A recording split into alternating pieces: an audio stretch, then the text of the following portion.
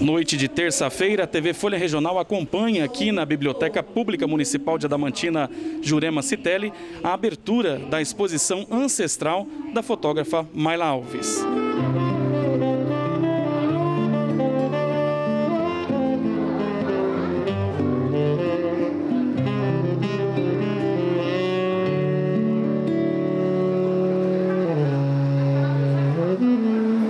Gente conversa agora com a fotógrafa Mayla Alves, que é autora deste projeto ancestral. Gostaria que você explicasse para quem nos assiste como surgiu a ideia desse projeto e como ele foi desenvolvido. Esse projeto ele surgiu no início de 2020. Acho que muita coisa surgiu em 2020 e foi uma grata surpresa, na verdade, do meu trabalho.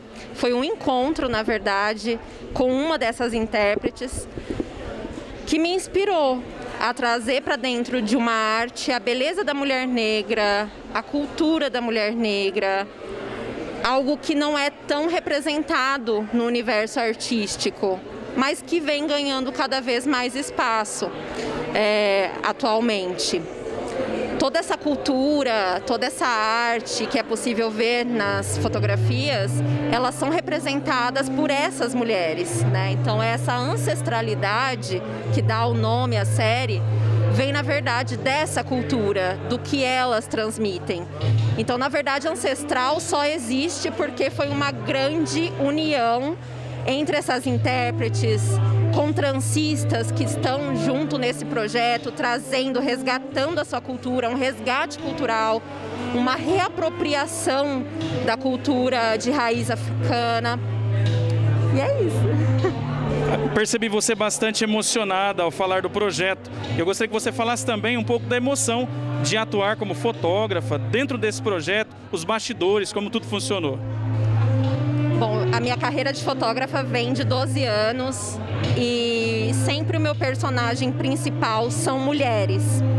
Então, todos os meus trabalhos são sempre buscando destacar a figura feminina, trabalhar junto com um público, junto com uma comunidade que é, nós sabemos muito bem o quão é difícil hoje, não só no Brasil, mas em outros países, a luta que é que eles trazem pela igualdade é uma honra.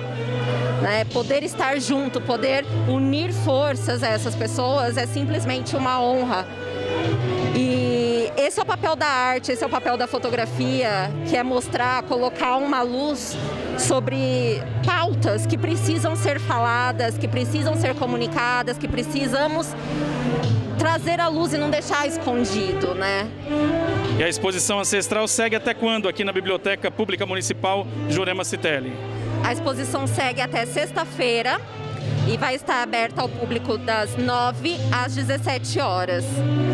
E a gente fala agora com algumas das modelos dessa exposição fotográfica ancestral. Gostaria que você falasse para a gente a sensação de fazer parte dessa exposição fotográfica ancestral, de ter sido fotografada pela Mayla. Essa exposição para a gente, é, a gente que eu digo nós, pretos, né, é, fez com que a gente ganhasse voz, que a gente fosse é, vistos de uma maneira diferente e capacitados, sabe? Porque durante muito tempo a gente foi segregado. Então, é, a Mayla ela teve uma sensibilidade absurda, é, como várias das obras dela, e ela conseguiu fazer tudo isso ser lindo, muito mais lindo do que a gente imaginava, acredito. Para você, a sensação de ter sido fotografada, fazer parte desta exposição que com certeza entra para a história de Adamantina, para a cultura de Adamantina. Para mim, acho que vai além da magia de conseguir me enxergar de um jeito mais delicado, amoroso, que muitas das vezes é difícil para a gente depois de tanta coisa. Para mim foi além por questão do meu lado profissional, que eu também fui uma das transistas, eu que fiz o cabelo das duas nas fotos, e poder deixar essas mulheres mais bonitas e mostrar para as iguais a gente que a gente tem beleza, que estamos aqui realmente para botar a beleza para jogo, foi além pelo olhar da Mayla, pela oportunidade e pela paixão do trabalho dela. De você eu gostaria que deixasse um recado para as pessoas que nos assistem, para se sentirem valorizadas e, é claro, também participarem de eventos como este, promovido pela Cultura de Adamantina. Ai, é... queria que essa exposição passasse para as pessoas toda a nossa cultura, mostrasse o que, que a gente é na sociedade. E estar tá aqui hoje para mim está sendo maravilhoso. E eu sou muito grata por tudo isso, pela Maila, pelo trabalho que ela fez. Então é isso, muito obrigada a Maila, todo mundo dessa equipe. Vocês foram tudo para mim assim. E é isso, só tenho a agradecer mesmo. A TV Folha Regional fala agora com o secretário de Cultura e Turismo de Adamantina, Sérgio Vanderlei, que vai explicar para a gente sobre esta e outras ações desenvolvidas no mês da consciência negra aqui em Adamantina. Boa noite, Diego. Boa noite, Folha Regional. Um prazer recebê-los aqui na, no, na, nossa casa, Casa da Cultura. Né? A Biblioteca de Damantina é a Casa da Cultura, acho que uma, um dos monumentos de maior orgulho para a população de Damantina. É, como você disse, né, dia 20 agora é o Dia da Consciência Negra, comemorado no país todo. E dentro da nossa programação do mês de novembro, né, a Semana da Consciência Negra, que começou ontem com o Festival de Hip Hop, lá no Parque dos Pioneiros, que foi lindo, né, ver toda aquela movimentação do pessoal pessoal, os skatistas, o grafite, né, a batalha de break, batalha de rimas, os MCs, né, uma galera da região. Foi muito positivo ver o movimento de ontem. E hoje é essa abertura, né, a abertura dessa exposição da, da fotógrafa Marla Alves. É uma exposição também muito significativa para o tema, né? tem todo um contexto, tem toda uma história, né? que acho que ela já explicou, né? quem está aqui está percebendo isso. E essa exposição vai ficar até sexta-feira. E durante a semana a gente vai ter várias, várias outras atrações. Né? Amanhã, nós temos, na quarta-feira, o Talk Show, que a gente vai discutir aí bastante a questão do racismo é, estrutural que, que, infelizmente ainda existe, né? É um, o racismo ainda ele, ele predomina ainda na, na, sociedade, não só brasileira, mas mundial. E a gente, e a gente precisa combater isso, né? Acho que a, a, o, o, principal objetivo do Dia da Consciência Negra, da Semana da Consciência Negra, do mês da Consciência Negra é justamente esse, né? É, é derrubar muros, acabar com esses preconceitos, acabar com esses racismo, né? É trabalhar a igualdade, promover a igualdade das pessoas, né? A igualdade econômica, a igualdade racial. É, a gente precisa trabalhar isso. E, esse, e, essa semana que a gente preparou tem esse fundamento, tá? Né? Como eu tava, estava dizendo, na quarta-feira um talk show, na sexta-feira nós temos uma roda de samba, né? Que o samba ele tem a, essa, essa veia, né? Do negro, né? É, é, e na, no sábado nós temos um encontro de capoeira e maculelê, fechando assim a semana da consciência negra. Para finalizarmos, gostaria então que você deixasse o convite para as pessoas de Adamantina e toda a região estarem prestigiando estes eventos preparados pela sua secretaria. Bom, Diego, né, a administração Márcio Cardim, a prefeitura, né, tudo isso está acontecendo porque é uma determinação do prefeito, né, que a, que a cultura vive em Adamantina. A gente sabe que justamente nesse momento, né, ainda estamos vivendo na pandemia, a pandemia ainda nos causa preocupação. Né? A gente não sabe o que pode acontecer amanhã ou depois, né? Uma quarta onda ou não, né? Mas assim, as pessoas também estão com outros problemas, né? As pessoas precisam voltar ao seu convívio social. Existe a economia criativa também, né? Muitas pessoas sobre, sobrevivem da arte, sobrevivem dos eventos, né?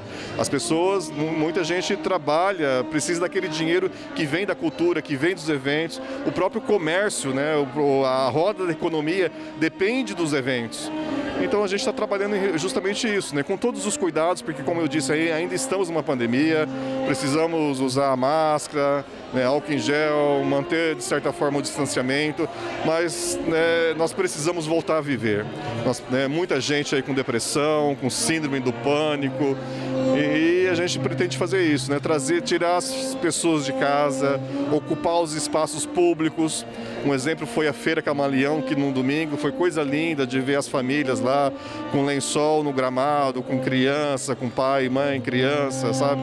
Foi bonito de ver. E é isso que a gente quer, né? Resgatar a autoestima das pessoas, resgatar um pouquinho da alegria das famílias.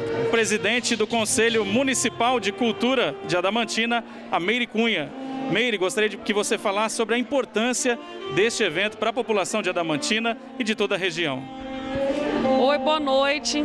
Olha, em especial esse evento está sendo a menina dos olhos de toda a semana da consciência negra, porque foi o primeiro episódio que nós conseguimos colocar brancos e negros no mesmo patamar, no mesmo local, participando da mesma arte, falando a mesma língua. Esse trabalho da Maila já era dela, ela é uma fotógrafa maravilhosa, uma artista maravilhosa. Ela perseguia as meninas na rua e pedia, você pode vir fotografar comigo. E ficou um trabalho maravilhoso. Como a gente pode ver, a alegria das meninas, a alegria da fotógrafa em, em estarem produzindo um trabalho juntas. Eu acho que consciência negra, ter consciência de ser negro ou de ser afrodescendente, é justamente isso, é você saber que o valor do preto, do branco, do amarelo, do vermelho é exatamente o mesmo e que o choque de culturas produz um ser humano melhor. Eu acho que essa é a maior importância desse evento, é a significação deste evento. E eu aproveito para convidar a população para estar com a gente amanhã, que é o Café com Rendas desse mês, entrevistando três negros maravilhosos de Adamantina, de Flórida Paulista. É, tem muita coisa para a gente falar sobre resiliência, sobre racismo estrutural. E também no dia 23 tem o último vernissage dessa nossa Semana da Consciência Negra, que é Quebrando Tabus com Axé. É uma exposição das casas de axé de Adamantina. As, as Ialorixás estarão presentes, as fotos estarão expostas, as explicações.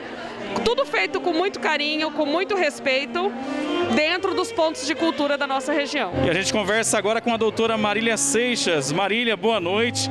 Eu gostaria que você falasse para quem nos assiste o que você pôde perceber aqui nessa exposição fotográfica da fotógrafa Mayla Alves. Boa noite. Uh, então, eu estou muito feliz que tenha essa. O Sérgio está dando essa oportunidade aqui em Adamantina, né? A cultura está assim voltando a gerar vários eventos no município. Tem sido muito interessante e essa exposição em especial está muito bonita, né?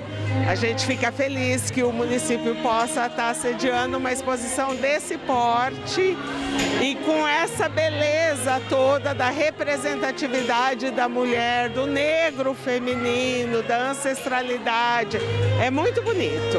Muito bonito. Então, para quem nos acompanha, vale a pena vir aqui até a Biblioteca Pública Municipal para acompanhar todo esse trabalho. Claro que vale a pena. Vale muito a pena, na verdade. Está tudo muito bonito. E corram, né? Porque o tempo da exposição é curto, mas merece ser visitada por todos aqueles que têm interesse pela cultura, pela imagem, pela fotografia, pelo reconhecimento da feminilidade, da ancestralidade. Vale muito a pena.